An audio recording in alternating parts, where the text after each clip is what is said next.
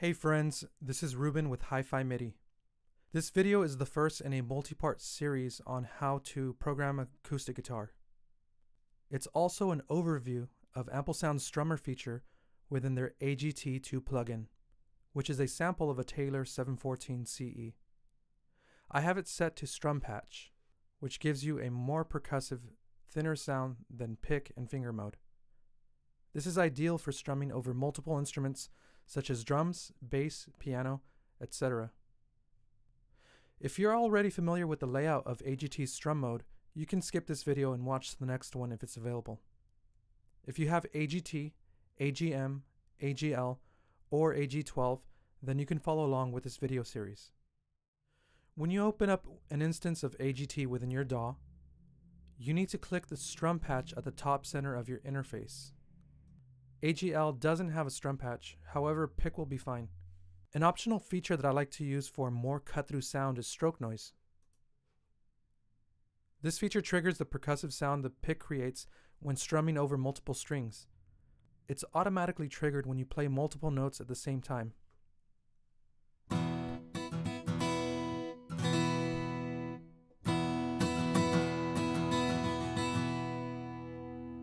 You basically set it and forget it.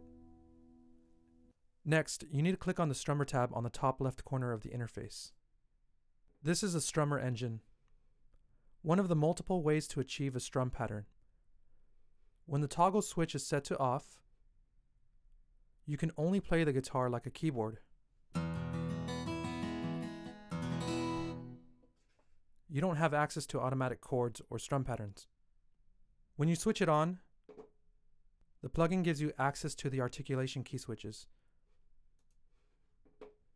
here. 24 preset chords. I'll give you an example.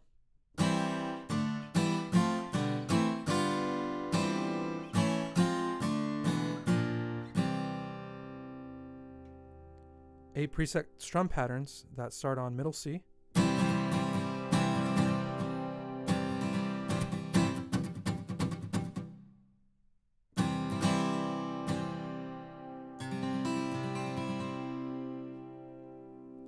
All of these which you can easily customize and save. It also gives you single string picking.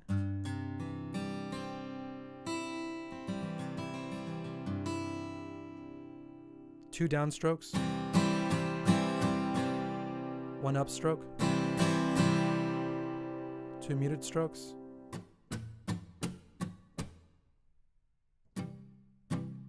Palm mute. I think these are silent right here. It also gives you strum time velocity, which I'll get into later. It has virtually everything you need to create the pattern you want. Now let's go back into Strummer. Since this is an overview, I'll only cover the most important features. In the second window, we have our chord menu. If you have an 88 key keyboard, the presets will begin on C2, which is two octaves below middle C. Make sure your chord bank is set to select and not detect. In select mode, you have two pages of chord banks you can customize. The default setting is set to a standard pop chord bank, which is pretty intuitive in my opinion.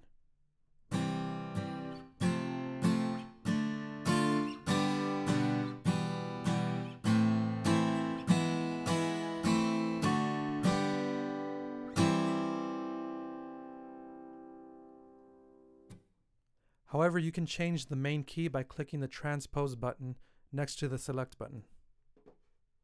I'm going to choose the key of E major.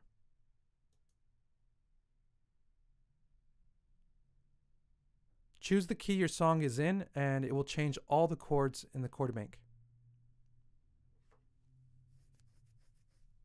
If you want to set a specific chord to a specific key on your keyboard, you can do so by first pressing on the key you want to use for that chord. I'll use F sharp on my keyboard.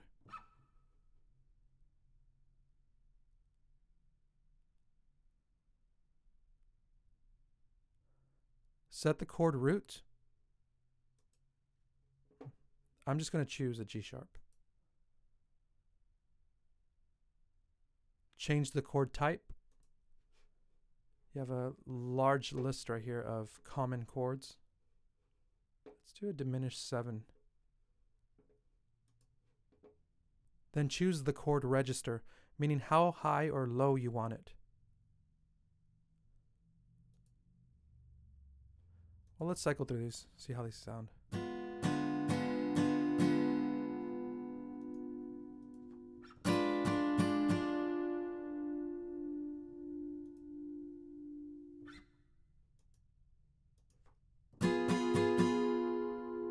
I'll stick with that one. Just for demonstration purposes.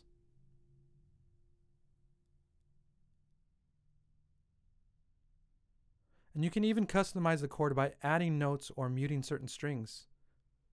And you can add notes by simply clicking on the string you want.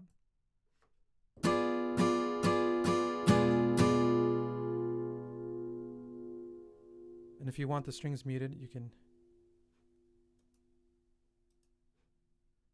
simply click them and they disappear.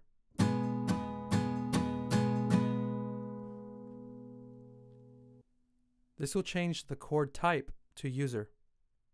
If you want to save this chord bank, you can click the icon to the left of the page 1 button and simply name it. Detect mode detects the chord you play and matches it to the standard guitar fingering for that chord, depending on the inversion you use. For example, if I play E major in root position, meaning E is the bottom note, then strummer will play E in the lowest register. However, if I play E major in first inversion, meaning that the third of the chord is on the bottom, then strummer will play E major in the second register. If I play E major in second inversion, meaning the fifth of the chord is on the bottom, then, then strummer will play it in the third register.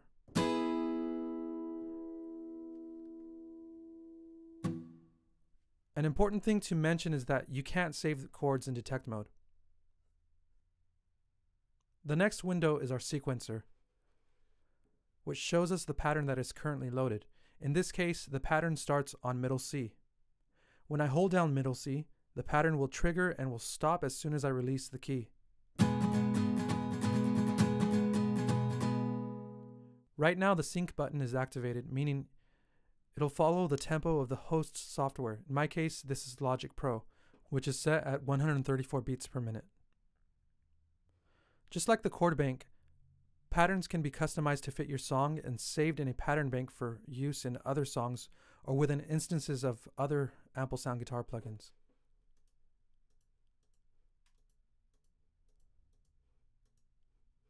These can be triggered by playing the notes C sharp 4, D sharp, F sharp, G sharp, A sharp,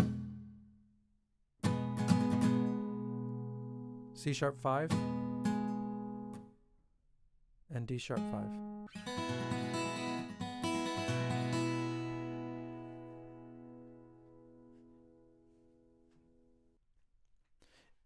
Inside the sequencer window, there is a default matrix consisting of 16 columns representing 16th note divisions and 14 rows representing the types of strumming articulations you want to access. The bottom six rows are the six guitar strings from lowest to highest. Then we have two downstrokes, an upstroke, and the rest of the strum articulations I mentioned earlier. We'll cover this in detail in the next videos. Stay tuned for part two, where I'll be showing how to use Strummer within a song if you have any questions or comments, please feel free to leave them below. If you like this video and want to see more, hit that like button. If you're new to this channel, I encourage you to subscribe for more videos. Thanks for watching.